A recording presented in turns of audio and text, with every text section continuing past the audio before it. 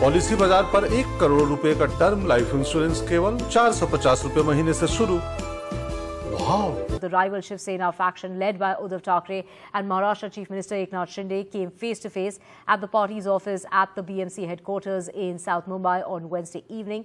Tensions prevailed for about an hour on the premises till the police intervened. To get more details, we have my colleague uh, Sohit uh, joining us. Sohit, take us through the details of that face-off that took place here last night. Uh, well, uh, the rival Shiv factions led by Uddhav Thackeray and uh, Eknath Shinde had faced off on Wednesday evening at the party's office at the civic headquarters of BMC, which is in South Mumbai. The tensions had prevailed for over an hour until after which the police had to intervene over there. Now, uh, all the political parties' offices, which includes Congress, NCP, as well as Shiv all of them have been sealed, and uh, as of now, no one is allowed to go there. Now, uh, the faction leaders of Uddhav Thackeray faction, they have started reaching at the BMC uh, headquarters demanding that their office should be opened. Now, we saw similar things happening at the Nagpur Assembly as well, because there is only one political party's office for each and every party.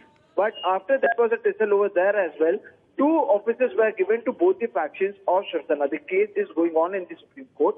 Now, uh, the BMC elections are going to happen, and this is a huge step for Eknath Shinde faction to claim uh, their office at the BMC because uh, Uddhav uh, earlier there was only one Shiv Sena, which has been in power at the BMC for the last 25 years.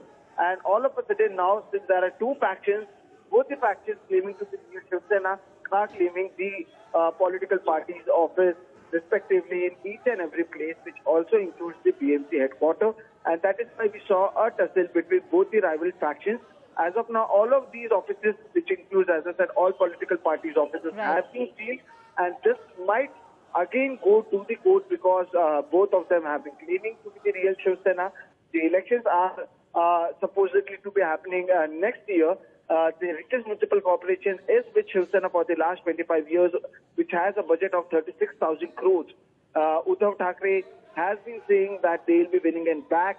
Same are the uh, things which is being said by, uh, said by the BJP and the Eknath Shinde faction.